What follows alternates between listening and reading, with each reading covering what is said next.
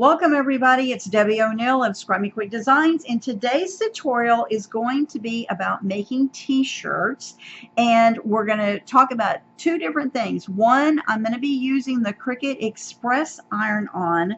I'm really excited about this product because it goes on two times faster than your traditional everyday iron-on products and I found that by layering, so the image that I picked here has three layers. So it has a blue, a red, and a white layer.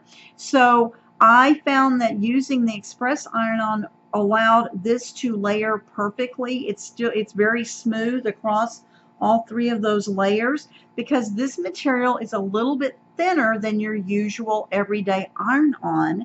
So it's a little softer to the touch on your shirt.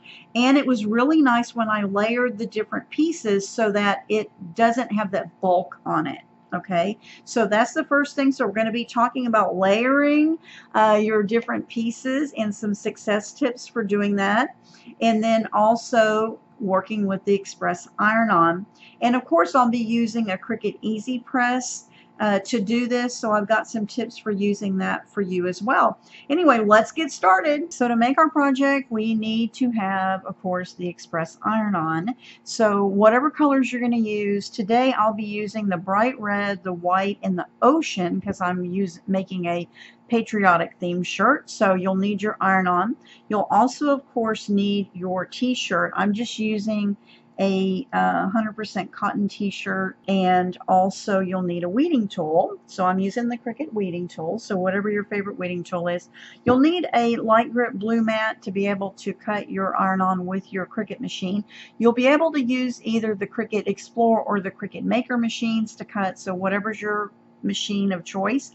And then of course you will need your heating source for the iron-on so I'll be using a 9x9 Cricut Easy Press and you'll also need an easy press mat. Now it's really important to have the mat because that is going to help you get the best adhesion using the product and it will give you a better way to protect your surface. So let's get started. I'm going to go ahead and go through the process of setting up my file in Design Space and going through and showing you a couple of things you need to be sure and do when you're using iron-on and then also how to weed the vinyl and then we'll put the shirt together. So of course you're going to need to pick whatever image you want to use for your shirt and I am using a Texas patriotic image. It's from Love SVG. They have amazing files.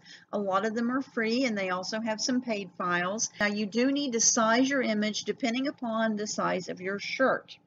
So I am making this for my granddaughter, so we're using a medium women's v-neck shirt for her shirt. And so I want to make sure that the size of my image is going to fit in the center of the shirt where I want this to be. So depending upon, you know, your shirt you're using, you'll need to size your image appropriately. So for this one in particular, it's about 7.13 inches from the left image of the state of Texas all the way over to here. So you're going to have a width measurement and then you're going to have your height measurement. So this one happens to be 6.7. So from the top here down to the tip of my image. So once you have your image on your design space screen and you have it sized for your shirt, then we're going to hit make it. Now we're in the mat preview screen. So whatever colors you're making your shirt out of, you will have those here separated out by mat color, okay, here on the left. So I have white and blue and red because those are the three colors I'm using. Now, the thing I want to point out is that when you are working with any iron-on or heat transfer vinyl, if that's what you prefer to call it, you need to mirror your image. Mirroring your image is super easy to do in Design Space because look here. Here is the white mat because I'm going to be cutting this out of white. I want you to notice that the word Texas reads left to right like it should. Now mirroring is easy to do because look, they've already got a little mirror button here. You just click on that. Now look over here at my image. It has now reversed the image. So it's going to cut out backwards basically. And that's why we will be laying our iron-on material face down so that it will cut in the appropriate orientation. Your iron-on material has a plastic coating or what they call a carrier sheet on it that always goes down against your mat. So you're going to be cutting your image in reverse. And Cricut's made it easy for us here with the mirror button. Now I do want to point out at this point, just because you put mirror on your first image does not mean that it's going to show up on your next one. Let me show you. So here's the blue. It is not going to show up mirrored. I'm going to have to mirror it myself. So here is the mirror button and now it will be mirrored when I go to cut it. Now same thing for this red Texas. We're going to have to hit the mirror button.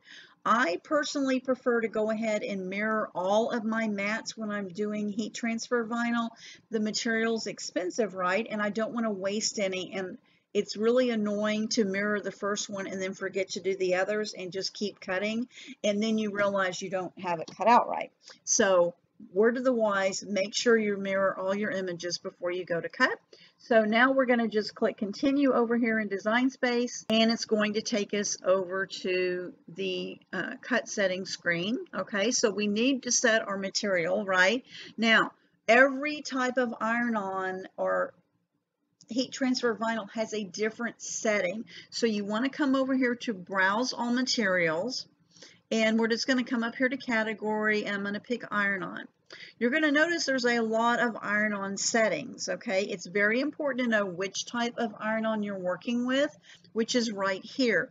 It is a little bit thinner than Cricut's everyday iron-on, so you want to make sure you pick the appropriate iron-on cutting so that it doesn't cut too light or too heavy for you. So we're going to do Express Iron-On and click Done. And it says here that we're just using our regular fine tip blade already in our machine, so we're good to go on that. Let's go over and get this cut out. So we're ready to go do our cut, but we need to get our material on our mat next. So I've got the light grip mat, and I've already taken the protective cover off of it, and now I have my express vinyl. So you're going to notice that the express vinyl is a color on one side and look how shiny that looks. It's because it already has a clear coat uh, transfer sheet already on it so you don't ever need to apply transfer tape when you're working with iron-on. So all we're going to do is flip this over and I want to make sure that you know that the shiny side right here is what's going to go down against your mat okay? It's that is the carrier sheet or the shiny side is going to go. I'm just going to smooth this out with my hands onto my mat and now I'm ready to go ahead and get this cut out. We've already mirrored our image in uh, design space so we're good to go with that. So now that we have cut it what I want to show you is a tip. Be sure and flip your mat over and then just gently remove your vinyl off like this. It'll help keep it from rolling up on you. And of course we need to use our pair of scissors and we're just going to trim away your image. Okay, so you'll do this for each color of iron-on that you're using, like that. And now that I've got this, then we're going to weed it. Always start up in one corner with my weeding tool and just peel back enough that I can start pulling it away. Now you'll notice that there is a tack, the side that's on the white side, this is a tacky sticky. This is the carrier sheet. On one side it's all shiny, that's where the color is of your vinyl. And on the back side with the express iron on it's white. And that sticky part is what you're going to feel as you're peeling this off. The vinyl itself is just like, oh, it's very kind of plasticky. It doesn't have any sticky on it because the adhesive on it gets warmed up to add to your object. Okay, so I'm just going to go gently around the edges, see how quickly and easily you can peel that off.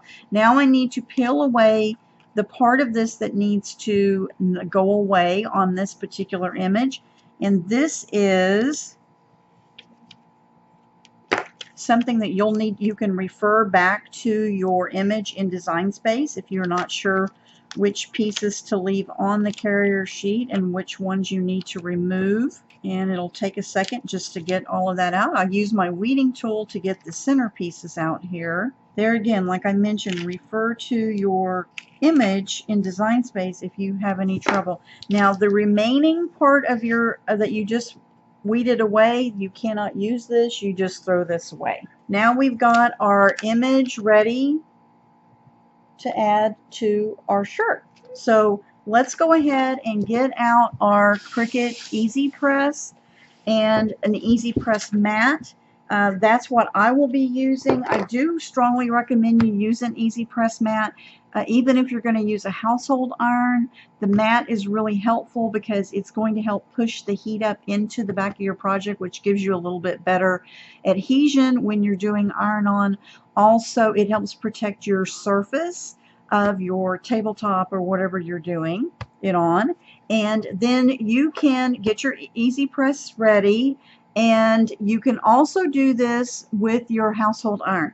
If you're going to use your household iron, you need to look up at cricut.com forward slash help and type in household iron iron on. And it's going to give you some directions that that walks you through what to do if you're using an iron okay? Let's go over to cricut.com forward slash heat guide and see what setting we need to put our easy press on Okay, like I mentioned, we're going to be using the Cricut Easy Press 2 to use on our shirt. And so I needed to go to cricut.com forward slash heat guide to find out what setting I needed to put. So you do that, it comes up with this handy guide here. You pick which machine it is that you're using. So the Easy Press Mini, the Easy Press 2, or the original Easy Press, which is blue. I'm picking the Easy Press 2 because that's what I'm using and 9 by 9 size.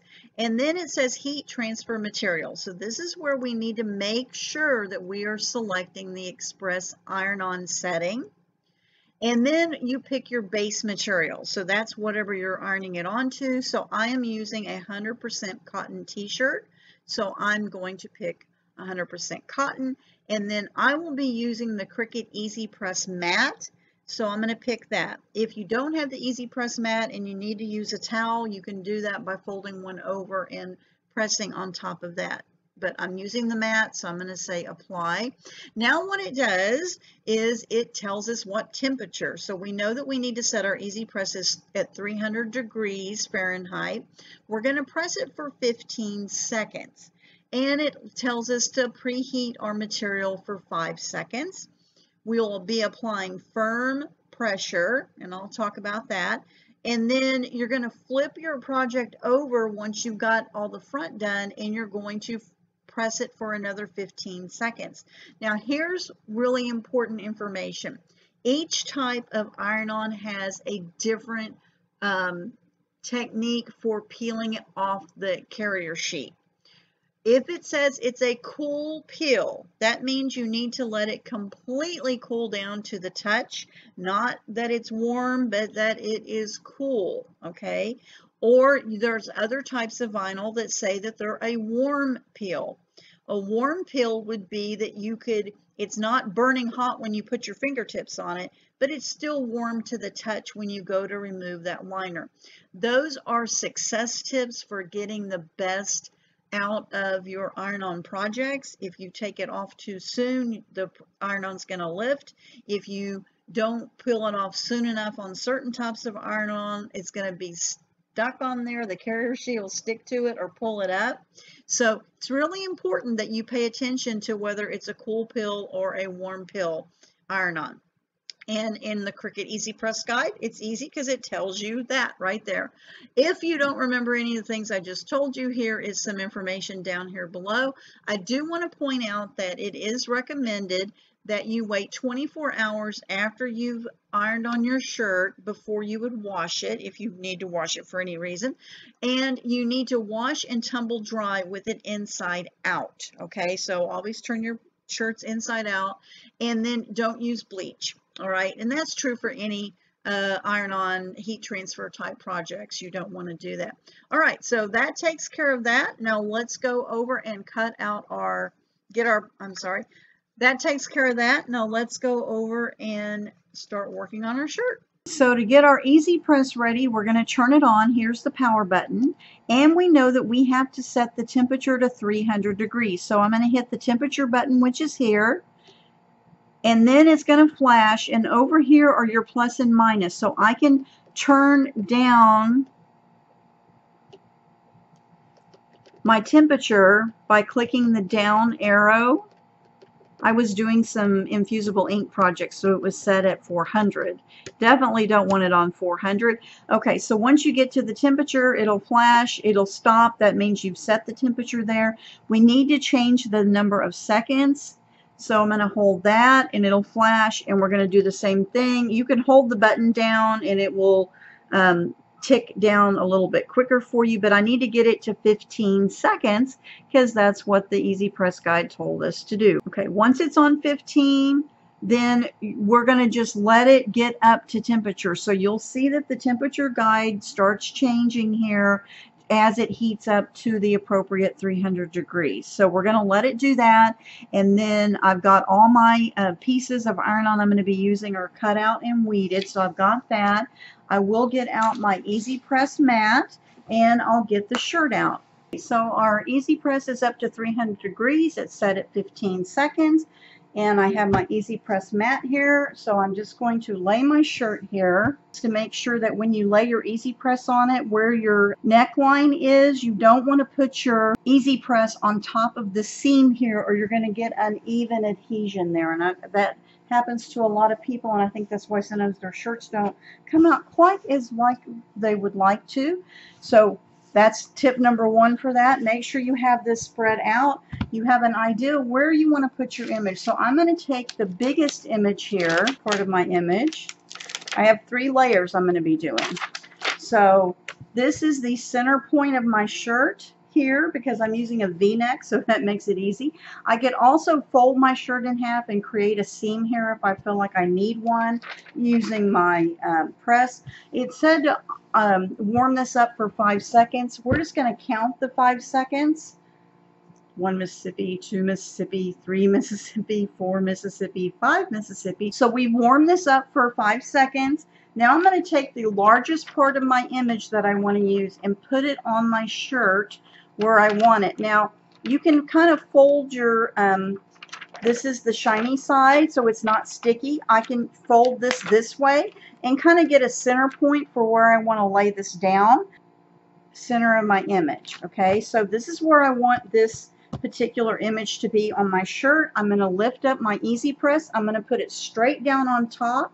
With the Easy Press, you want to just hit the green button and it's going to click down for you okay?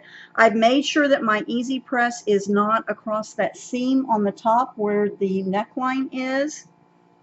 And we're going to let it just come down. Now I am pushing firmly on this. I'm going to lift it straight up. And then what I want to do is I need to let this cool. So I've got three layers to do. I want it to cool in between each layer. And so we're just going to let this cool off. You can lift it up off of your mat will help a little bit to cool it off. Usually I kind of fan it around a little bit and get it to where this liner right now when you touch it is really hot to the touch. You don't want to do it while it's hot to the touch. Um, we need to let it cool completely. So that'll take a couple of seconds to let it cool down enough. Like I said, lifting it up off the mat because the mat is material that pushes the heat up into the back of your project to give you better adhesion. So it's really important that you let that cool off. It says cool peel. I can put my hand on it. I can still feel quite a bit of heat coming through there. So it is definitely still too hot. This is where a lot of people end up where they have lifting of their iron-on later because they didn't let it cool down enough before they removed it. Now some iron-on it'll tell you that it is a hot peel. If it's a hot peel you can immediately after you iron it on go ahead and take the liner off. However when it says it's a cool peel you need to make sure that it has completely cooled to the touch before you start to remove it. Like now this is completely cool okay. I'm going to just slowly peel this back I'm going to take leave this big sheet out because I'm going to be using this as a protective layer here in a second. The next image that goes on, and depending upon your particular project, the next image that goes on needs to be laid down where it needs to go on your image. And then I'm going to put that cover back over this because I want to protect that blue iron-on. Okay, so now I'm going to do this and I'm going to do 15 seconds. I'm just barely pushing down on this. You can even just use one hand if you want. I'm just barely pushing down. I'm holding it on there. Okay, and we're going to lift that straight off and set it off to the side. I want to go ahead and lift up my carrier sheet and it has removed the carrier sheet that was over that middle part and now I'm going to let this completely cool off before I add my next layer. So I have the white Texas is going to go right here on top. I want to let this completely cool off though. Now your easy press is going to stay on for 10 minutes. After 10 minutes, if you have not used it and moved it or whatever, hit the go button. It will shut off and you'll need to reheat your Easy Press. So now I've got this part of my image goes right here. I'm going to line that up in there. That looks good. And then I'm going to put my protective cover back over the whole image. Okay so that I'm protecting putting too much heat around the blue and the red we've already done. And now I'm going to apply the last 15 seconds. And I'm just going to hold it with one hand. I don't need to put both on there. And I'm just slightly applying pressure here. Not a whole lot, but it is definitely firm pressure down okay? And you'll notice that the temperature dropped a little bit. That's because as your shirt cools your image cools down it may affect your temperature. Don't worry about that too much unless it drops drastically. But a 15 to 20 degree difference is not going to make that big of a difference since we're layering this. And now I want to let this completely cool off cool off before we go and remove the layer. So I'm going to iron the back for, what did it say? 15 seconds. So I'm just going to flip that over. Let it count down. What this is doing is it's making sure that that adhesive on the back side of your iron-on has adhered to your shirt appropriately and it just is a, gives you greater success with your iron-on projects to do the back side. All right, so we're going to let this completely cool. Once it's cool, then I'm going to slowly peel this back up. So this was that larger piece that we used as a carrier sheet, and then we have the one that had the white on it. So I'm going to peel this off, and you'll see how beautiful and layered this shirt is. It's so pretty.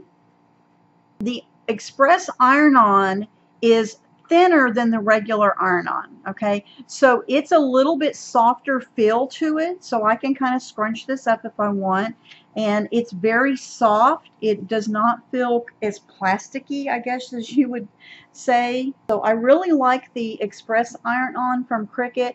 Comes in a bunch of different colors, and there's some multi-packs too if you want to give it a try. Okay, so our shirt turned out super cute. I cannot wait to give this to my granddaughter. She's going to be so happy to have this to wear and I hope that this video encouraged you to try a new material the Express iron-on that it taught you something about how to layer your iron-on images and to have fun with your Cricut Easy Press and get great results when you're doing your iron-on shirts.